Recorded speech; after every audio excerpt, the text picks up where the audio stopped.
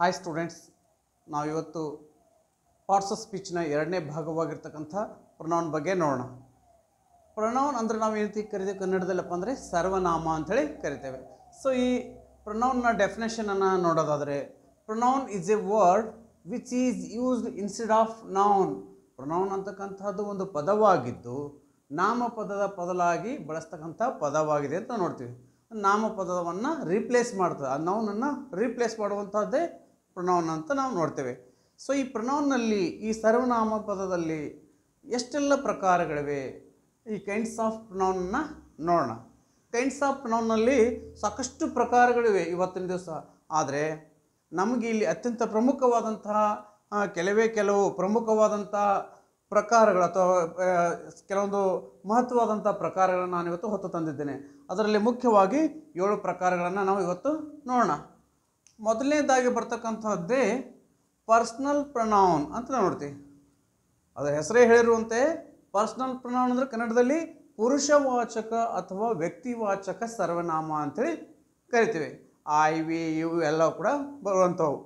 Next ಎರಡನೇದು interrogative pronoun ಅಂದರೆ ಪ್ರಶ್ನಾರ್ಥಕ ಸರ್ವನಾಮ ಅಂತೇಳಿ ನಾವು ನೋಡ್ತೀವಿ. ಅದರಲ್ಲಿ ಪ್ರಶ್ನೆಗಳನ್ನು ಕೇಳುವಂಥ ಒಂದು ಅದರ ಪ್ರಶ್ನೆಯಲ್ಲಿ ಒಂದು ಅರ್ಥವನ್ನು ಅಡಗಿದೆ. ಅಂದರೆ ಪರ್ಸ್ನಲ್ ಪ್ರೊನೌನ್ ಅಂತಕ್ಕಂಥದ್ದು ಪ್ರಶ್ನೆ ಕೇಳುವಂಥ ಸರ್ವನಾಮ ಅಂತ ಸಹಜವಾಗಿ ನೋಡ್ತೀವಿ. ಅದರ ಬಗ್ಗೆ ಡೀಟೇಲ್ ಆಗಿ ನೋಡುವಾಗ ನೋಡೋಣ. ಅದೇ ರೀತಿ ಮೂರನೇದು ಬಂದ್ಬಿಟ್ಟು third one is demonstrative pronoun ಅಂದರೆ ಕನ್ನಡದಲ್ಲಿ ದರ್ಶಕ ಅಥವಾ ಸ್ಥಳವಾಚಕ ಸರ್ವನಾಮ ಅಂತೇಳಿ ನೋಡ್ತೇವೆ. Next fourth one is relative pronoun ಅಂದರೆ ಸಂಬಂಧ ಸೂಚಕ ಸರ್ವನಾಮ. ಅಂದರೆ ಇಲ್ಲಿ ಸಂಬಂಧಗಳನ್ನ ಕಲ್ಪಿಸಲಿಕ್ಕೆ ಬಳಸ್ತಕ್ಕಂಥ ಪ್ರಣಾಮಗಳಿಗೆ ನಾವೇನು ಕರಿತೀವಿ? ಸಂಬಂಧ ಸೂಚಕ ಸರ್ವನಾಮ ಅಂತ ಹೇಳಿ ನೋಡ್ತೀವಿ. ಅದ್ರ ಬಗ್ಗೆನೂ ಡೀಟೇಲ್ ಆಗಿ ನೋಡೋಣ. Next fifth one is indefinite pronoun ಅನಿರ್ದಿಷ್ಟ ಸರ್ವನಾಮ. Sixth one is reflexive pronoun ಕನ್ನಡದಲ್ಲಿ ಆತ್ಮಾರ್ಥಕ ಸರ್ವನಾಮ ಅಂತೇಳಿ ನೋಡ್ತೇವೆ. So last one is and seventh one is possessive pronoun ಅಂದರೆ ಸ್ವಾಮಿತ್ವವಾಚಕ ಸರ್ವನಾಮ. ಸ್ವಾಮಿತ್ವವಾಚಕ ಅಂದರೆ ಅಲ್ಲಿ ಅಸ್ ಒಂದು ಓನರ್ಶಿಪ್ಪನ್ನು ತೋರಿಸ್ತಕ್ಕಂಥದ್ದು ಅಂದರೆ ಯಾರದು ಅಂತಕ್ಕಂಥದ್ದು. ಈ ರೀತಿಯಾಗಿ ಪ್ರಮುಖವಾದಂಥ ಏಳು ಸರ್ವನಾಮಗಳನ್ನು ನಾವು ಇವತ್ತು ನೋಡ್ತಾ ಇದ್ದೇವೆ.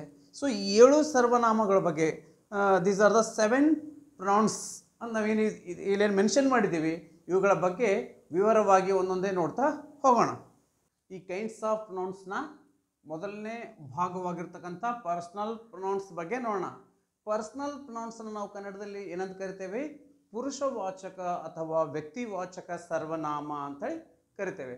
ಸೊ ಈ ಪುರುಷವಾಚಕ ಅಥವಾ ವ್ಯಕ್ತಿವಾಚಕ ಸರ್ವನಾಮದ ಒಂದು ಡೆಫಿನೇಷನನ್ನು ಇಂಗ್ಲೀಷ್ನಲ್ಲೇ ನೋಡೋದಾದರೆ personal pronouns are used in place of proper noun ಅಂತ ನೋಡ್ತೇವೆ.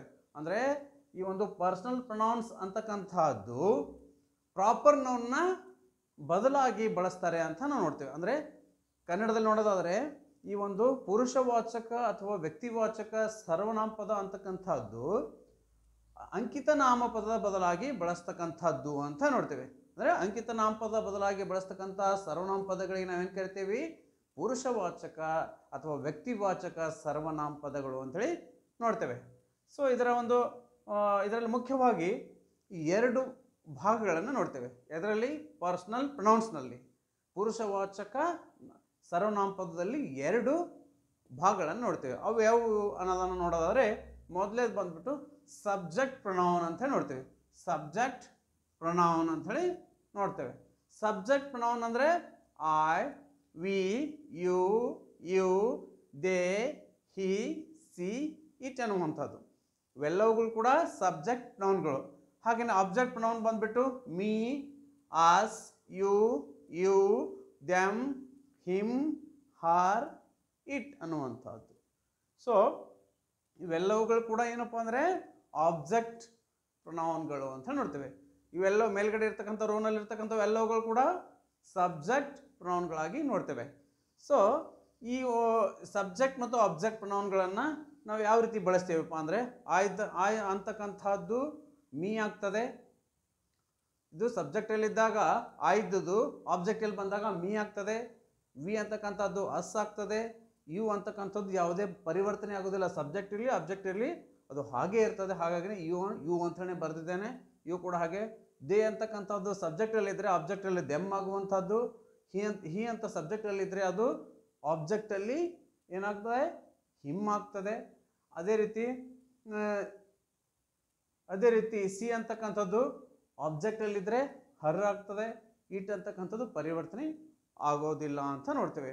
ಅಂದ್ರೆ ಈ ರೀತಿಯಾಗಿ ಸಬ್ಜೆಕ್ಟ್ ಮತ್ತು ಆಬ್ಜೆಕ್ಟ್ ನೌನ್ಸ್ನ ಇವೆರಡನ್ನು ನಾವು ಎದರಲ್ಲಿ ನೋಡ್ತೀವಪ್ಪ ಅಂದರೆ ಸಬ್ಜೆಕ್ಟ್ ನೌನ್ ಮತ್ತು ಆಬ್ಜೆಕ್ಟ್ ನೌನನ್ನು ಪರ್ಸ್ನಲ್ ನೌನ್ಸ್ನ ಒಂದು ಭಾಗವಾಗಿ ನೋಡ್ತೇವೆ ಅಂತ.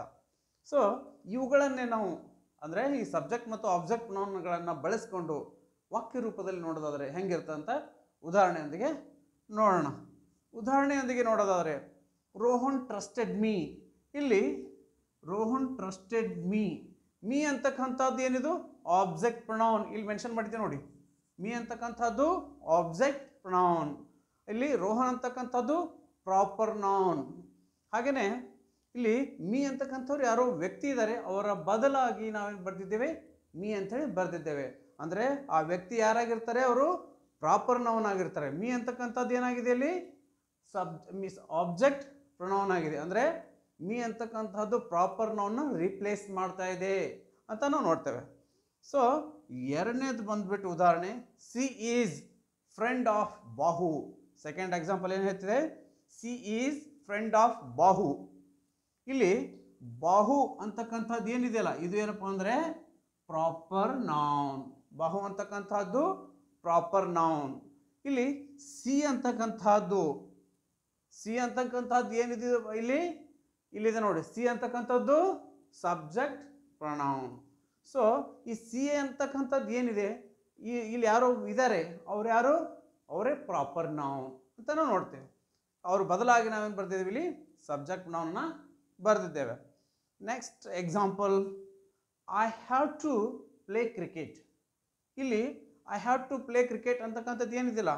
ಇಲ್ಲಿ ಐ ಅಂತಕ್ಕಂಥದ್ದು ಸಬ್ಜೆಕ್ಟ್ ಇಲ್ಲಿ ಐ ಅಂತಕ್ಕಂಥ ಯಾರೋ ವ್ಯಕ್ತಿ ಇದ್ದಾರೆ. ಅವರು ಪ್ರಾಪರ್ ನೌನ್ ಆಗಿರ್ತಾರೆ. ಅವರ ಬದಲಾಗಿ ನಾವೇನು ಬರ್ತೀವಿ ಇಲ್ಲಿ? ಸಬ್ ಸಬ್ಜೆಕ್ಟ್ ಪ್ರೊನೌನ್ನ ಅಥವಾ ಪರ್ಸ್ನಲ್ ಪ್ರೊನೌನ್ನ ಬರೆದಿದ್ದೇವೆ ಅಂತ ನೋಡ್ತೇವೆ. ಸೊ ಇದು ಕೂಡ ನೆಕ್ಸ್ಟ್ ಎಕ್ಸಾಂಪಲ್ ಬಂದುಬಿಟ್ಟು you must read newspaper ಅಂತ ನೋಡ್ತೀವಿ. ಇಲ್ಲಿ ನೀನು ನ್ಯೂಸ್ ಪೇಪರ್ ಓದಲೇಬೇಕು ಅಂತ ಹೇಳ್ತಿದ್ದೀವಿ. ಯು ಅಂತಕ್ಕಂಥದ್ದು ಏನಿದು? ಯು ಅಂತಕ್ಕಂಥದ್ದು ಸಬ್ಜೆಕ್ಟ್ ಆರ್ ಆಬ್ಜೆಕ್ಟ್ ಪ್ರೊನೌನ್ ಅಂದರೆ ಪರ್ಸನಲ್ ಪ್ರೊನೌನ್ ಅಂತ ನೋಡ್ತೀವಿ. ಸೊ ಈ ಯು ಅಂತಕ್ಕಂಥದ್ದು ಸಬ್ಜೆಕ್ಟ್ ಆರ್ ಆಬ್ಜೆಕ್ಟ್ ಅಂತ ಹೇಗೆ ಅಂತ ನೋಡೋದಾದರೆ, ಇಲ್ಲಿ ತೋರ್, ಇಲ್ಲಿ ನಾನು ಮೆನ್ಷನ್ ಮಾಡಿದ್ದೀನಿ. ಅಂದರೆ ಇದು ಬದಲಾವಣೆ ಆಗೋದಿಲ್ಲ. ಸಬ್ಜೆಕ್ಟಲ್ಲೂ ಇರ್ತದೆ ಆಬ್ಜೆಕ್ಟಲ್ಲಿ ಕೂಡ ಇದೇ ಆಗಿರ್ತದೆ. ಹಾಗಾಗಿ ಇದೇನಪ್ಪ ಅಂದರೆ ಸಬ್ಜೆಕ್ಟ್ ಆರ್ ಆಬ್ಜೆಕ್ಟ್ ಪ್ರೊನೌನ್ ಅಂತ ನೋಡ್ತೇವೆ. ಈ ರೀತಿಯಾಗಿ ಪರ್ಸ್ನಲ್ ಪ್ರೊನೌನ್ನ ಅಂತಕ್ಕಂಥದ್ದು ತನ್ನ ಕಾರ್ಯವನ್ನು ನಿರ್ವಹಿಸ್ತದೆ ಅಂತ ನೋಡ್ತೇವೆ. ಅದರ ಒಂದು ಫಂಕ್ಷನ್ಸನ್ನು ನಾವು ರೀತಿ ಉದಾಹರಣೆಯೊಂದಿಗೆ ನೋಡಿದ್ದಾಯಿತು. ಇದಾದ ಬಳಿಕ ನೆಕ್ಸ್ಟ್ ಬರ್ತಕ್ಕಂಥದ್ದು ಯಾವುದು? ಇಂಟ್ರೋಗೇಟಿವ್ ಪ್ರೊನೌನ್ಸ್ ಇಂಟ್ರಾಗೇಟಿವ್ ಪ್ರೊನೌನ್ಸನ್ನು ನೋಡೋಕ್ಕಿಂತ ಮುಂಚೆ ಒಂದು ಮಾತು ಹೇಳಬೇಕು. ಯಾರೆಲ್ಲ ಈ ನಮ್ಮ ಚಾನಲ್ನ ನೋಡ್ತಿದ್ದೀರಾ? ಯಾರೆಲ್ಲ ಸಬ್ಸ್ಕ್ರೈಬ್ ಇನ್ನೂ ಆಗಿಲ್ಲ ಅವರೆಲ್ಲರೂ ದಯವಿಟ್ಟು ಸಬ್ಸ್ಕ್ರೈ ಸಬ್ಸ್ಕ್ರೈಬ್ ಮಾಡ್ಕೊಳ್ಳಿ. ಮತ್ತು ಬೆಲ್ಲೈಕನ್ನ ಪ್ರೆಸ್ ಮಾಡಿ. ಯಾಕಂದರೆ ನಾನು ಮಾಡ್ತಕ್ಕಂಥ ವಿಡಿಯೋ ತಮ್ಮ ನೋಟಿಫಿಕೇಶನ್ ಬರಬೇಕಂದ್ರೆ ಬೆಲ್ಲೈಕನ್ನ ಪ್ರೆಸ್ ಮಾಡಬೇಕು ಜೊತೆಗೆ ಯಾರೆಲ್ಲ ಈಗಾಗಲೇ ಈ ಹಿಂದಿನಿಂದ ಹಿಡಿದು ನನ್ನ ಒಂದು ವಿಡಿಯೋಗಳನ್ನು ನೋಡ್ತಾ ಬರ್ತಿದ್ದೀರಿ ತಾವೆಲ್ಲರೂ ಕೂಡ ಈ ಒಂದು ನಾನು ಮಾಡ್ತಕ್ಕಂಥ ವಿಡಿಯೋಗಳು ಇಷ್ಟ ಆಗಿದ್ದರೆ ತಾವೇನು ಮಾಡಬೇಕು? ದಯವಿಟ್ಟು ಒಂದು ಲೈಕ್ ಕೊಡಬೇಕು, ಶೇರ್ ಮಾಡಬೇಕು ಮತ್ತು ಕಮೆಂಟ್ ಮಾಡಬೇಕು ಅಂತ ಹೇಳ್ತಾ ತಮ್ಮೆಲ್ರಿಗೂ ಧನ್ಯವಾದ.